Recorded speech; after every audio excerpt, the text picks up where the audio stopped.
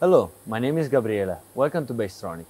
Today we will see the unloading system of the ByTube Star 130. The unloading system is divided in two parts, an unloading table and the settles. The unloading table takes care of parts up to 1.2 meter, while the settles take care of all longer parts. Both systems can follow actively the tube during the cutting process. It means that can go up and down following the tube during the rotation to reduce the vibration during the cut.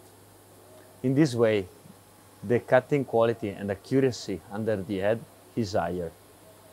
The machine has default setting that based on the tube dimension, length and design, decide whether to follow actively the tube or not.